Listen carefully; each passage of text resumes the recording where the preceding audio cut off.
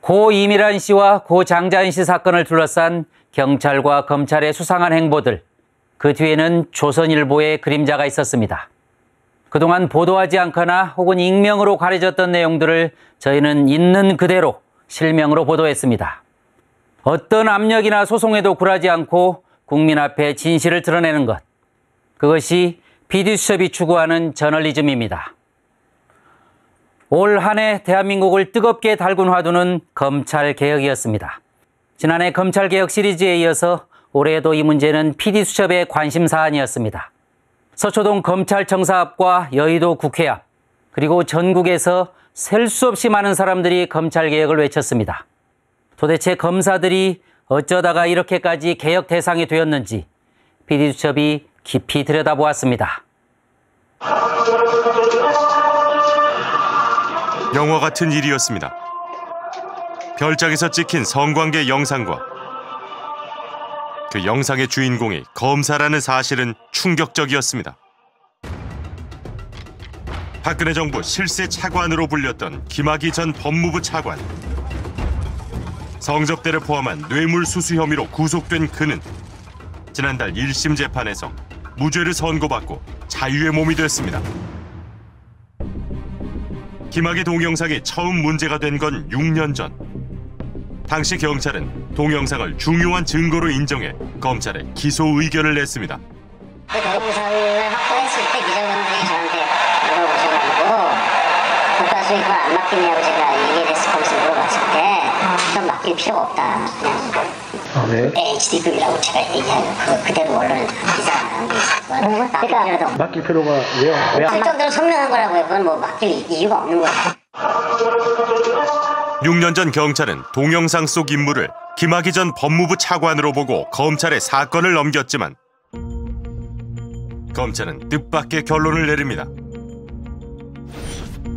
검찰은 두 차례나 김학의 전 차관을 무혐의 처분했는데 영상 속의 남성이 누군지 알 수 없다는 이유였습니다. 대체 검찰은 왜 이 두 사람이 동일인이 아니라고 판단했던 걸까? 검찰은 동일인이 아니라고 판단을 내렸단 말이에요. 그거는 그 배경으로 의심할 수 있는 거는 김학의 전 당시 차관이 그 직전까지 검찰 식구였잖아요. 검사장을 쭉 지내던 그리고 심지어 검찰총장 후보로도 거론됐던 인물이었잖아요. 검사들의 자기 식구, 자기 선배, 봐주기죠. PD수첩 방송 이후 검찰의 세 번째 수사가 시작됐습니다.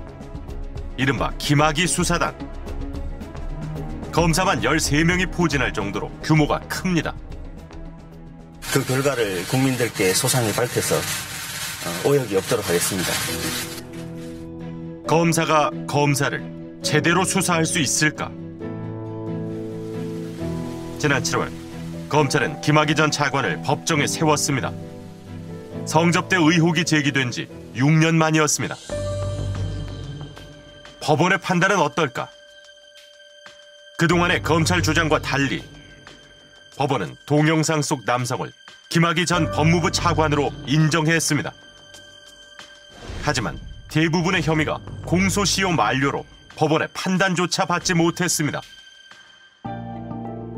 김학의 차관에게 성접대한 혐의를 받는 윤중천 씨 판결에서 법원은 검찰에게 뼈아픈 말을 남겼습니다. 검찰이 제때 제대로 수사했다면 판결이 달라졌을 거라는 겁니다. 2013년에 그때 검찰에서 제대로 수사만 했다면 검찰이 본인의 선배, 고위 검사 출신 선배를 봐주지 않았다면 예, 오늘 이런 판결이 나오지 않았을 거다. PD수첩은 김학의 사건을 담당했던 검사들과 지휘부를 공개했습니다.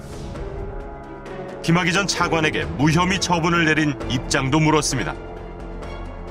상식과 다른 검찰의 판단에는 특별한 이유가 있는 걸까? 취재에 응하지 않겠습니다. 왜요? 그 어차피, 어차피 의도를 가지고 쓰시잖아요. 예. 아니 전혀 그렇지 않고요. 아, 저 PD수첩 전문에서 이전에 방송한 것도 제가 봤고요. 예. 제가 취재 응하지 않겠습니다. 그 뭐 쓰시고 싶은 대로 쓰십시오. 예. 두 번이나 김학의에게 무혐의 결정을 내렸던 검찰. 검찰은 그들의 지난 수사에 대해 어떤 판단을 했을까?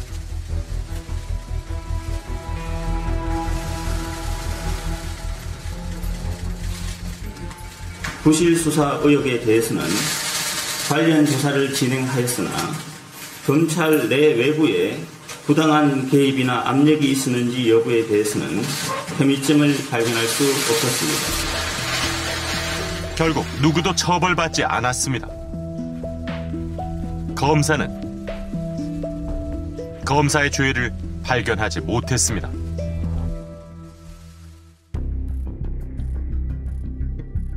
PD수첩은 검사가 검사를 수사한 또 다른 사건도 다뤘습니다. 사건의 주인공은 김형준 전 부장검사. 큰 심려를 끼쳐드려 깊이 사죄드립니다. 박혜태 전 국회의장의 사위이자 검찰 내 주요 요직을 두루 거친 엘리트 검사였습니다. 스폰서 김 씨와 김영준 전 부장검사의 사이가 틀어지면서 김 검사의 성매매 사건은 세상에 알려졌습니다.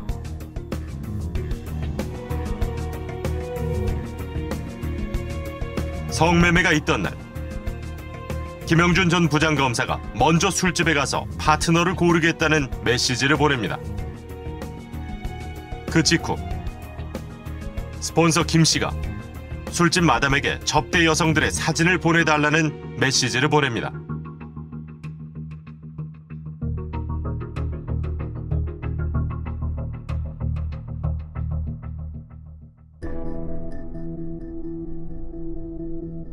강남의 한 술집 주차 관리인도 그를 알아봅니다. 아 이분이요? 저희가 지금 찾고 계신 분인데요. 김영준 부장검사 아니에요. 옛날에 그건 가로케 있었잖아요. 옛날에 그 술집이 여기 그때 당시에 이름이 가로케가 피팅이었어요. 네. 피팅 가로케. 검찰은 술집 마담의 진술도 확보했습니다. 이날 술집에 지불한 비용은 약 350만 원. 김영준 검사가 이 차를 갖고 그 비용은 스폰서 김 씨가 접대 여성들의 은행 계좌로 따로 입금했다고 말했습니다. 하지만 검찰은 김영준 전 부장검사를 기소하지 않았습니다. 당시 김영준 검사를 조사하고도 불기소한 사람은 손진욱 검사입니다. 시청님 안녕하세요. 저 PD수첩에 MC PD수첩에 임철 PD라고 합니다. 저기 검사가 이 차를 나가는데 기소조차 안 된 이유는 뭔가요? 그러니까 저희가 입증을 해야 되는데요. 네. 예컨대 뭐 현장을 발견해가지고 그 콘돔을 발견했다거나 네. 아니면 성관계하는 장면을 봐야 됩니다. 이게 입증이 안 되면 기소를 못 합니다. 당사자가 부인하는 건 당연한 거 아닙니까? 부인하는 게 당연하지가 않습니다. 그러니까 자- 인정하는 경우도 있고요. 그러면 저희가 기소를 하고 그렇습니다. 그럼 인정을 하지 않으면 절대 예, 기소를 안 한단 말이죠. 기소를 못 합니다. 기소에도 유- 무죄가 나옵니다. 일반인의 경우라면 어땠을까? 성범죄 전문 변호사에게 물었습니다. 그런 상황에서 불기소를 했어요. 이게 통상적인 건지 궁금해서 좀 여쭤보려고. 아, 통상적이잖아요. 대부분의 일반인들은 형사처벌을 받죠. 그러면 보통 한 300 정도로 음, 그 통상적으로 기소를 하는 게 통례예요. 그러니까 이게 사실 피의자가 검사였어요. 피의자, 피의자가? 네, 피의자가 검사였어요. 아, 그러면 직권을 챙겨줬겠네. 일반인을 재판에 넘기는 기소율이 약 40%인 반면 검사의 기소율은 겨우 0.13%. 검사가 일반인 300명을 기소할 때 검사가 기소한 검사는 한 명인 셈입니다. 검사를 서로 봐준다 하더라도 이 정도일까 했던 게 이제 정말 팩트로 확인되는 순간이기 때문에 이게 굉장히 둔중한 충격을 줬던 것 같아요. 사실 어떻게 보면 검사 범죄라는 건 없다. 검사는 범죄를 저지를 수가 없다. 왜? 덮어주기 때문에. PD수첩은 검찰 개혁을 2019년의 화두로 이끈 사건에도 주목했습니다. 조국 전 법무부 장관의 인사청문회 날 검찰은 아내인 정경심 교수를 기소했습니다. 그런데 기소가 결정되기 전부터 청문회 곳곳에 묘한 분위기가 감지됐습니다. 여상규 법사위원장이 굉장히 좀 특이한 말씀을 하시죠. 처와 자녀 등 온 가족이 검찰 수사를 받고 있단 말이에요. 앞으로 구속될지도 몰라요. 이 가정이 무너지고 있습니다. 그런데 장관이 무슨 의미가 있죠? 예? 그런데도 그 결정을 못 해요? 당신의 처가 조국 당시 법무부 장관 후보자의 부인이 뭐 기소가 된다면 또 구속될 수도 있는데 위원장의 저 발언은 굉장히 이례적이다. 저게 청문회에서 저런 발언이 어떻게 나오지? 그것도 중립을 지켜야 할 위원장이 이게 기소가 될 것 같다라는 어떤 메시지를 받은 것 같은 느낌이 벌써 오후 제 기억에는 오후 4시부터 나온 거죠. 검찰이 특정 기자들한테 우리가 11시쯤에 법원에 보낼 거다. 하지만 발표는 12시 이후에 할 테니까 그렇게 알고 아침자를 준비해라. 이렇게 팁을 줬어요. 검찰과 보수당과 언론의 이 삼자 커넥션이 작동한 그 시간이었던 것 같아요. 8시부터 12시 사이에 이게 청문회가 필요한지 싶어요. 만약에 부인이 기소가 된다면 법무장관을 수행할 수 있겠습니까? 배우자를 소환하지 소환해서 조사하지 않더라도 아마 일단 위조 행위가 공소시효 만료가 오늘 밤 12시이기 때문에 검찰은 기소할 가능성이 저는 매우 높다고 봅니다. 기소가 되는지 여부를 금방 어 이제 결정이 될 거 한 시간 내로 결정이 될 것 같으니까요. 음, 공, 아, 예, 예, 예. 예. 밤 10시가 넘자 이미 기소가 확정된 듯 발언은 더욱 노골적이었습니다. 처가 처가 기소되고 본인이 수사를 받고 이런 법무장관이 과연 되겠습니까? 상식적으로 생각합시다. 예. 청문회가 끝나자마자 검찰의 기소 사실이 전해졌습니다. 방금 기소 기소가 되셨는데 혹시 입장 이에 대해서 입장 어떻게? 검찰이 만든 두 장짜리 공소장입니다. 검찰은 정경심 교수를 딸의 표창장을 위조한 혐의로 기소했습니다. 정경심 교수가 성명불상자와 공모해 대학 총장의 직인을 임의로 찍어 가짜 표창장을 만들었다는 겁니다.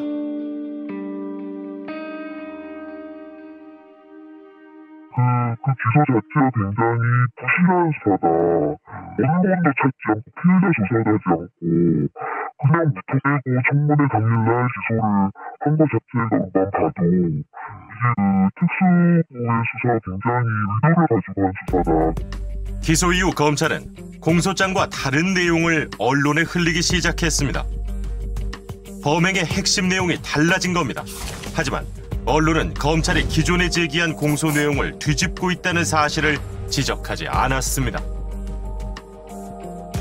공소 사실 변경과 관련해 대부분의 언론은 검찰의 주장을 그대로 보도했습니다.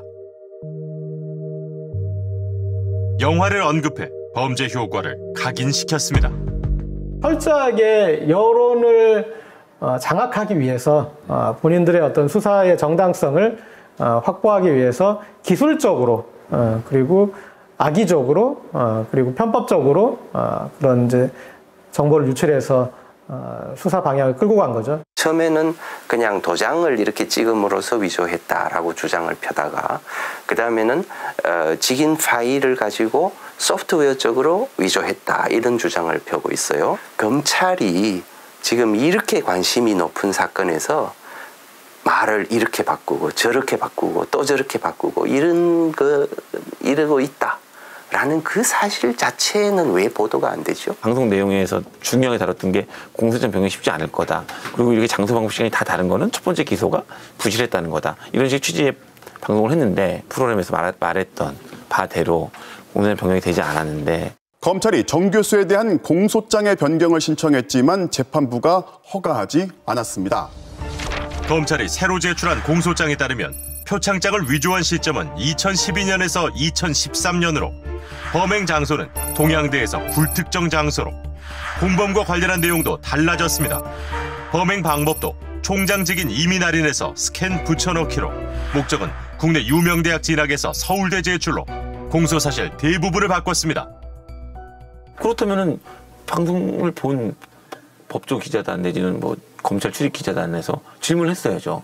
근데 그럼 처음 기소 뭐예요? 라고 물어봤어야 되잖아요. 그럼 처음 기소는 어떻게 한 거예요? 처음 기소할 땐 무슨 증거가 있었어요? 라고 물어봤어야 되는데 그런 걸 묻질 않아요, 기자들이.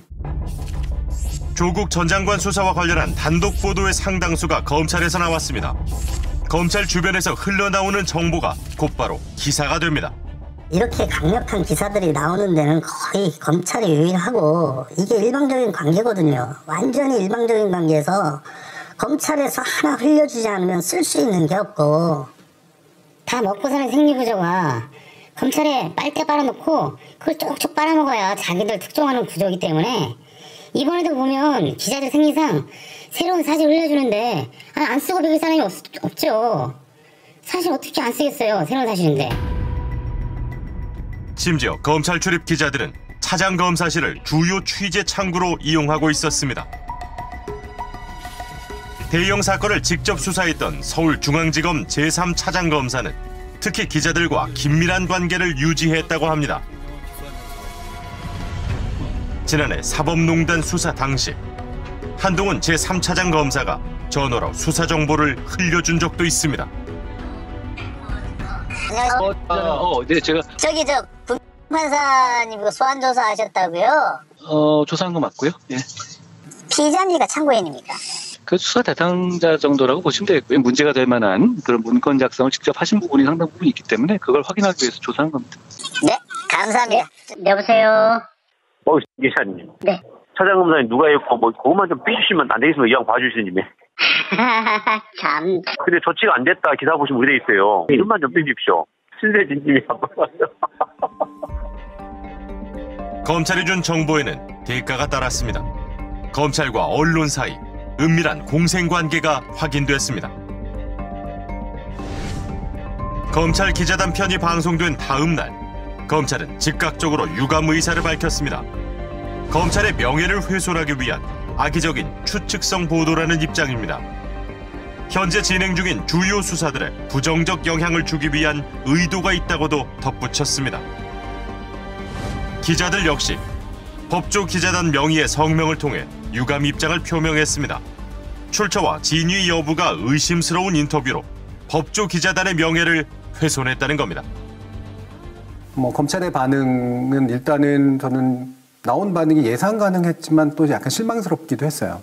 기자단 같은 경우는 좀 더 실망스러웠습니다. 그 안에 있는 사람들은 이것이 특권인지 또는 문제인지 왜 폐쇄성에 어, 어떤 심각한 문제로서 얘기될 수 있는지에 대해서 자의식이 없다는 거고 성찰하지 못한다라는 거거든요. 이게 아무도 제기하지 않는 문제를 저희가 되게 이상하게 제기한 게 아니거든요. 국민들은 오래전부터 검찰과 검찰 기자들이 좀 각, 너무 지나치게 가깝다. 그랬기 때문에 비판적인 기사가 안 나온다. 뭐 이걸 갖다 저희가 그냥 이 비판의 목소리를 담은 것 뿐이에요. 근데 이걸 갖다가 저희하고 이렇게 각을 세울 것이 아니라 이 정말 이 의심을 던지는 시민들한테 합리적으로 설명을 해야 되는 것이죠. 이미 검찰은 국민이 가장 불신하는 기관 중 하나가 돼버렸습니다. 검찰 내부로부터의 개혁은 과연 가능할까요? 국민들의 물음에 이제 검찰이 답할 차례입니다. 이것은 검사 선서입니다. 모든 검사들이 검사 생활을 시작하면서 스스로에게 약속하는 내용입니다. 불의의 어둠을 걷어내는 용기 있는 검사. 힘없고 소외된 사람들을 돌보는 따뜻한 검사. 오로지 진실만을 따라가는 공평한 검사. 스스로에게 더 엄격한 바른 검사로 처음부터 끝까지 혼신의 힘을 다해 국민을 섬기고 국가에 봉사할 것을 나의 명예를 걸고 굳게 다짐합니다. 과연 용기와 따뜻함, 그리고 진실과 공평이 검사들을 상징하는 말이 되고 있습니까? 현실 속 검사의 모습은 검사 선서와는 많이 달랐습니다. 스폰서 검사나 정치 검사 이런 문제가 여전히 남아 있습니다. 이것은 검찰이 누구에게도 견제받지 않아 일어난 일이 아닌지 국민들이 묻고 있습니다. PD수첩이 숨가쁘게 달려온 2019년 시청자 여러분은 어떻게 보셨습니까? PD수첩을 보면 세상이 보입니다. 다음 주 PD수첩에서는 종교와 부동산, 환경과 노동, 그리고 억울한 약자들의 이야기가 송년 특집 두 번째로 이어집니다.